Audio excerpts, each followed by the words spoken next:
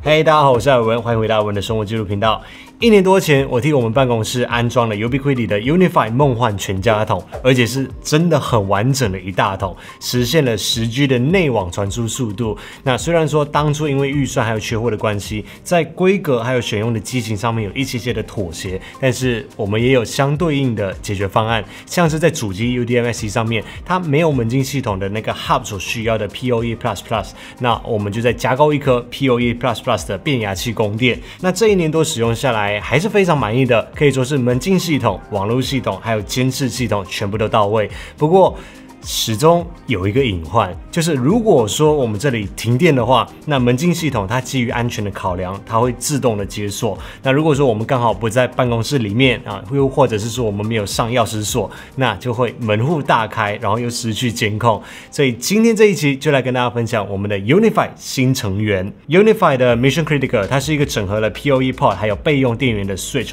它内建有三百六十八瓦时的电池，如果在断电的时候，它可以让系统持续的运作。一段时间，那另外在背面这边也可以去接上四十八伏的外接电池，来去延长它供电的时间。那同时它有两个可以输出一百一十伏的 AC 插座，所以我现在就是将我们的主机 UDMSE 还有中华电信的小乌龟的接头都把它接在这里，这样子如果说停电的话也不会断网，同时也因为 UDMSE 它不断电嘛，所以连接在上面的监控系统、无线 AP 这些都可以持续的运作一段时间。那这里还是帮大家做一下简简单。的介绍，PoE 它是 Power over Ethernet 的简称，也就是说透过网路线同时供电，还有进行资料的传输，这样子一来你就可以省下配置电源线的时间还有费用，也不会很啊涨就很多线这样子。那 Unify 有很多的设备都是采用 PoE 供电的，就是一条线可以同时的提供供电还有传输资料，让环境更加的整洁。那 Mission Critical 的设计语言，它是延续了 Unify 系列的传统，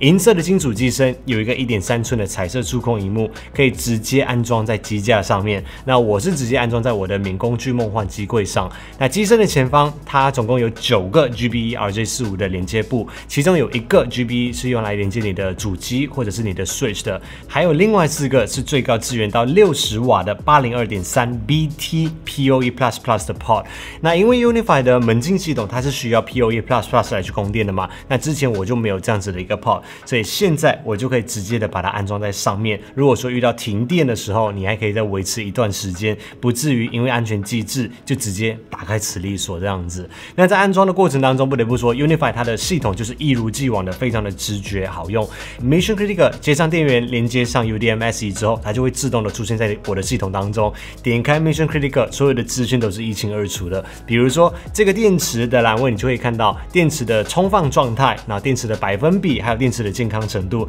另外在电池的使用方面，目前总共用掉的瓦数还有百分比，它都会用资讯图表清楚的来呈现给你知道。那电池它也会自动的去进行重放电，来去维持电池的健康程度。那另外在 settings 里面，不只可以看到后方两个供电的插座分别的瓦数，你也可以去帮他们命名，方便管理。直接控制插座的开关也都没有问题。那因为 Unify 它有 app 嘛，所以你在手机端你可以去使用 Unify 的 app 去进行远端的操控。那它的功能和网页版几乎都是一模一样的。那手机版它有一个 AR 扩中实境的功能。在 Mission Critical 上面也都能够应用，它会去显示说你各个 port 上面的装置的名称，还有图片，让你可以很直观的在一片汪洋的线海当中找到相对应的装置的线。那最后就是三百六十八瓦时的这个备用电源到底能够撑多久？它会跟你接在上面的所有装置的总瓦数有关。那我有看到国外的 YouTuber 去实测 Mission Critical，它充到百分之百，然后把它拔掉电源，本体加上两个供电插座，总共共使用一百一十瓦左右，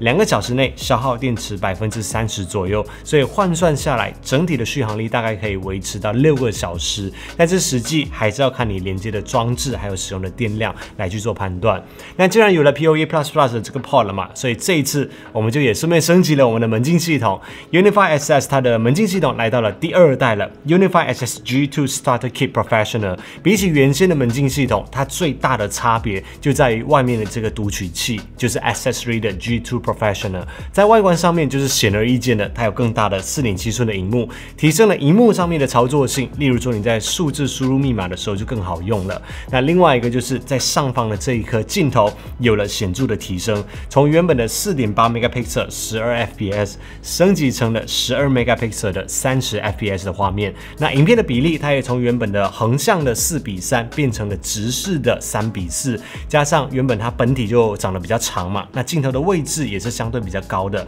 那好处就是以往如果说有人刷卡进来记录的那个影像，或者是有人在门外有访客去进行视讯通话的时候，如果说高度不够哦，没有弯腰下来就对着镜头讲话的话，那个人脸常常是会被切掉的。那现在是可以完整的、清楚的拍到整个人脸的。那另外升级版的读取器 Accessory 的 G2，它跟上一代相比，规格其实都差不多，倒是外观上面它从一个比较圆润的形状状变成了比较平整方正的。那指示灯它也从外围的一圈把它改成了在正面下方的灯条。那外观的改变就见仁见智，我自己个人是比较喜欢它上一代的样子。那有这样子的改变，我想是为了要迎合整套产品，它们有共同的设计语言。那两个读取器它都是长方形直角的设计。那中控台 Unify SS Door Hub 它是一个外观的小改变啊，我没有测试过。如果说你只是换内外的读取器，然后延续使用上一代的 Hub 的话，它也是可以通用的。那最后一个改变就是一代的 Kit 组里面，它有包含了二十张质感很好的 NFC 的门禁卡。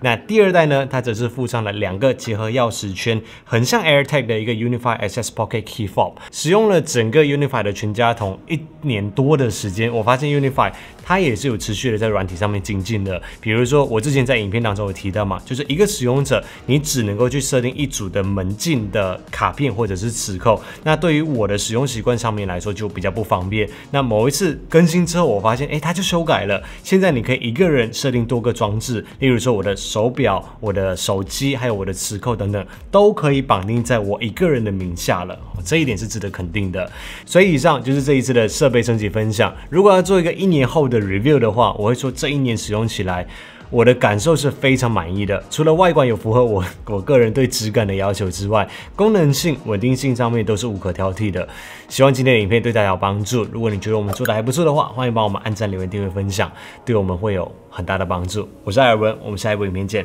拜拜。